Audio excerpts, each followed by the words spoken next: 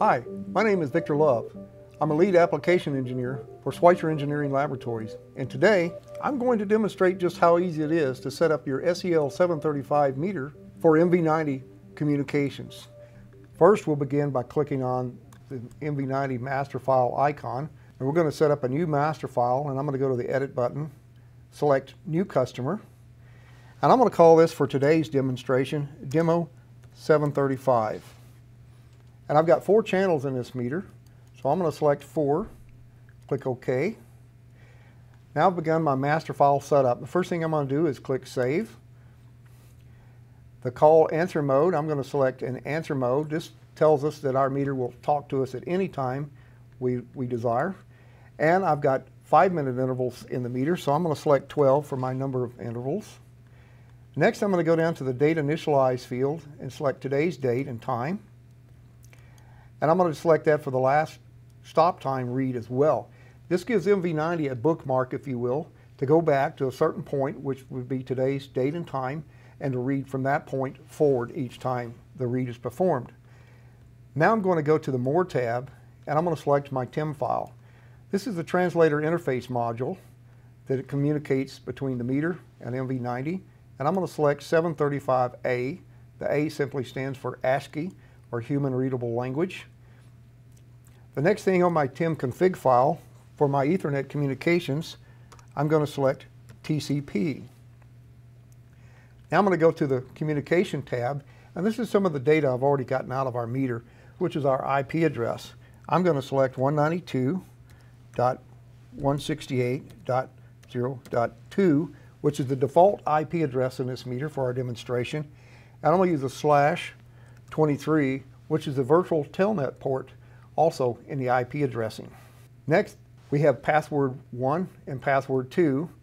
For this case, I'm going to use our default passwords of Otter for level 1.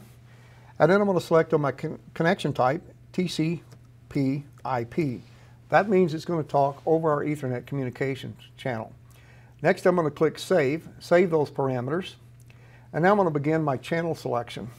The first channel I had on this 735 meter was kilowatt hours delivered. So I simply type in anything I want in the meter serial number field you see here. I select our proper unit of measure. In this case, I want kilo units, so I'll select a value of 1. Next, I'll go to our multipliers and readings file, and I'll simply select 1 for my meter multiplier and my pulse multiplier. Now, why would I select the value of 1? Well, the SEL735 meter takes into account your CT and PT, or your instrument transformer ratios, and does the multiplication for you. So everything coming out of the load profile recorder for MV90 is already in kilowatt hours, kilo and primary units for you. We can also do mega in the MV90 master file. Next, I'll select our standards checks, and I'll do the dual method and the pulse multiplier method. This gives me checks and balances in the master file for validation of data. Now click Save. And I'll do the same thing for channels 2, 3, and 4. Channel 2, I have kilowatt hours received, and again, the proper unit of measure. And I can simply select Save at this point.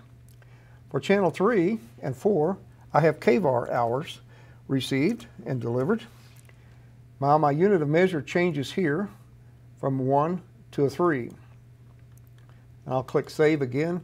And now I'm ready for my last channel, and I'm going to type in kVAR-H. And again, my proper unit of measure is 3, and select Save. Now, as you can see here in my screen, that we already have our master file completely set up, and we're ready to give our SEL735 meter a call. So I'll close the master file settings.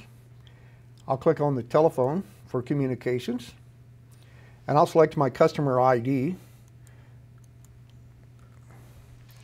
In this case, it's demo 735. And I'll select all read for my first initial read. I'll click on schedule and go. Now I can pull up my XI COM window and view my connections. Now we're communicating with our meter that we expect to read all of our load data profile back into our MV90. And as you can see, we've completed our first initial read. And we should see our, in our taskbar here, go to validation, and we're done. So you can see how easy and simple it is to set up your MV90 software for the SEL 735 meter. You're now ready to communicate. Thanks for watching.